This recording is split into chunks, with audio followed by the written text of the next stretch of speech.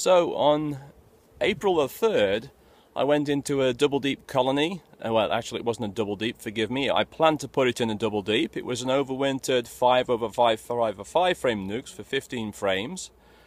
And um, April the 3rd looked, looked okay. I thought, okay, I'd come back.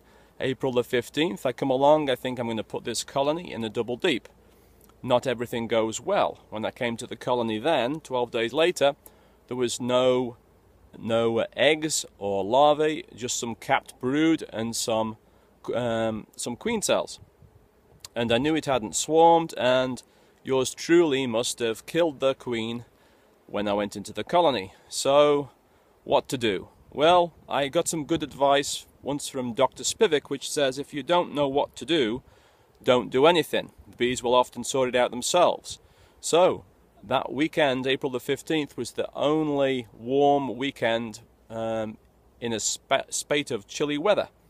And so I'd like like you to interest I'd like to introduce you to April.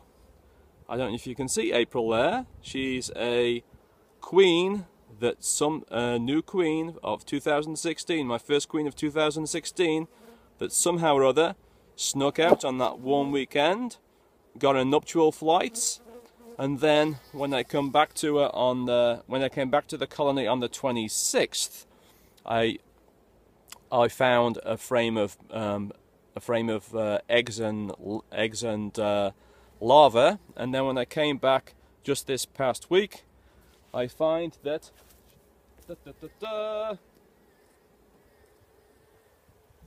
Lo and behold, April can do her work. So that is pretty nice patch of brood from